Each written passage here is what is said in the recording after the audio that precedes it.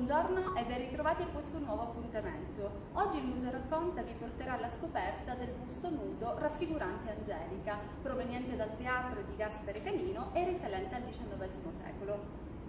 Nella storia dei paladini di Francia, il personaggio viene utilizzato nella rappresentazione del famoso episodio dell'orca marina, inventato da Ludovico Ariosto nell'Orlando Furioso, che ricalca l'episodio mitologico di Perseo che libera Andromeda dal mostro.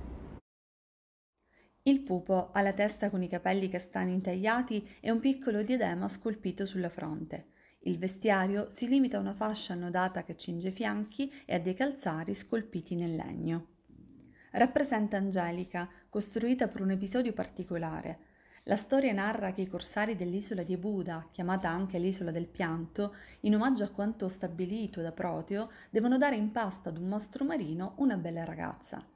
La prima ad essere catturata è Angelica, che viene denudata e incatenata ad uno scoglio.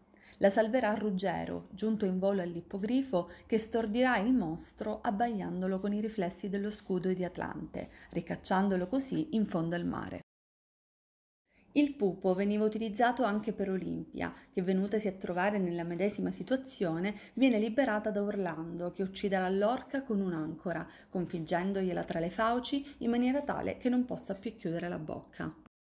Nel teatro dell'opera dei pupi di tradizione palermitana e catanese, oltre all'uso dell'ancora, spesso i pupari per dare gloria ad Orlando facevano sì che l'orca venisse uccisa dalla Durlindana, famosa spada di Orlando.